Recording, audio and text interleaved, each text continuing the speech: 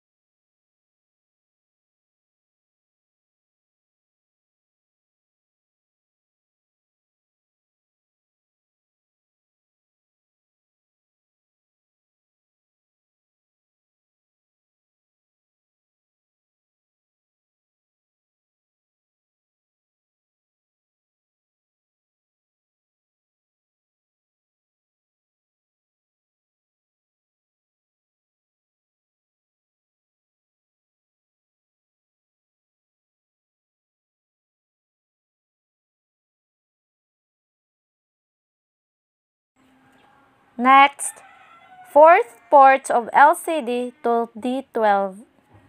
Fifth port of LCD to the ground. Sixth port of LCD to D11. 11th port of LCD to D5. 12th port of LCD to D4. 13th port of LCD to D3. 14th port of LCD to D2. 15th port of LCD to resistor. 16th port of LCD to ground.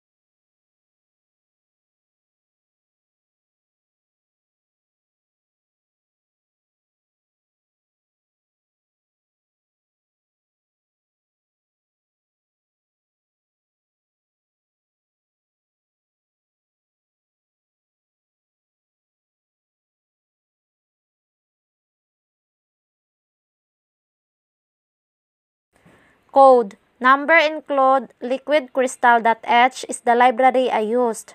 This is used to initialize the library with the numbers of the interface pins. Liquid crystal LCD 12, 11, 5, 4, 3, and 2 is used to create an LCD object and assign pins. LCD.begin 16 and 2 this is used to set the display to 16 columns and 2 rows. Void Basic Print Demo is used to print letters from C to C individually. Under Void scroll left Demo, comma, open parenthesis CT318 microprocessor by De La Serna Lea, close parenthesis, will be printed.